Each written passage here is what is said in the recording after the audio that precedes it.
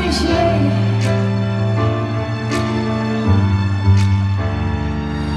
I was young, and my mama had been 17 years old, kicked out on the streets. And back in the time, I never thought I'd see your face, but ain't a woman alive.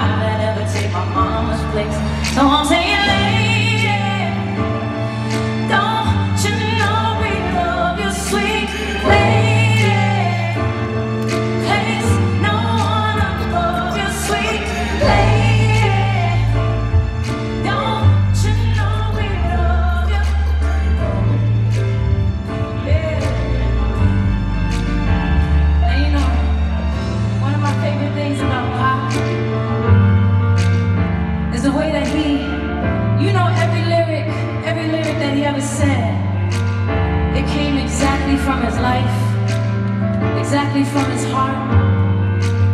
He was so raw and so real and so honest.